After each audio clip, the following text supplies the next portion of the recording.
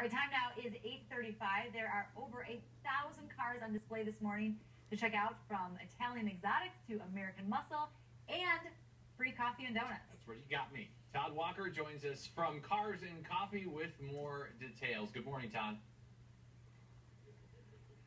Good morning, Leah. Good morning, Cody. I am right now on the deck. It's about a 400 square foot deck on one of the car condos, and I thought we'd give you another view of what these places look like. Check this out. So this is the upper level of the garage. We have a full bathroom. We have a kitchen. We have this full living area, and of course the flat screen TV and the fireplace. And I'm here with Tom. Good morning, Tom. Good morning. All right. So Tom, uh, how long have you had this place? I've had it for about two years. Two years. Okay. So you did you come into this and redo the upper level here? Yeah, we did the upper level. You know, basically all the furniture and everything in here we painted and, and added some different things up here. So how often do you come out here? I come out here a lot more than my wife would prefer. okay. About three, three, four times a week typically. All right. So let's check out the other side here. So. Leah, Cody, I want to show you. I thought we just would go out on a little bit on the veranda.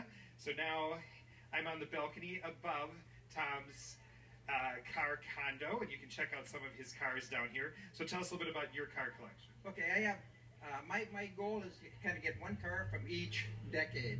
So currently, I have a '57 Chevy. I have a 1991 ZR1 Corvette. I have an 81 Trans Am turbo car.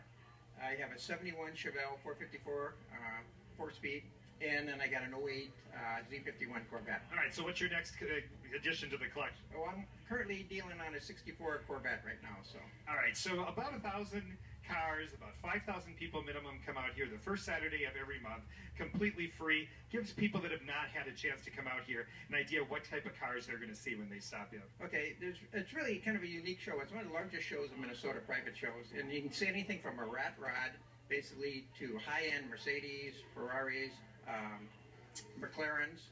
So it's really a big variety. Packards, I got a Packard from a friend that's in front of my garage. So it's really a big variety of different cars. All right, and how many condos are there out here?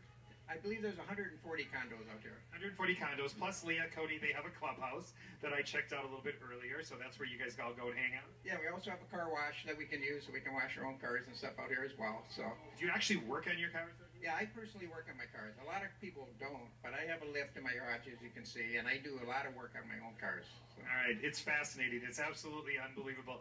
And people start lining up. Leah, Cody, I got here at 6.30 this morning, a little bit before 6.30, and there was already a line all the way out to the freeway. Yeah, so I, I usually come at 6 o'clock, and there's cars lined up at the gate when I get here.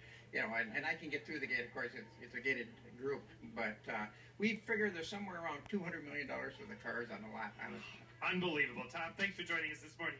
Leah, Cody, we're showing you about one percentage of what you can see when you come out here for cars and coffee. And just so you guys know, uh, the one that we're in right now, if you're interested, it's about half a million dollars, uh, and you can have uh, a wonderful garage for your cars. So what do you think, Leah, Cody? Should I put down a purchase agreement for you guys? Uh, sure. If you want to just give me five hundred thousand dollars.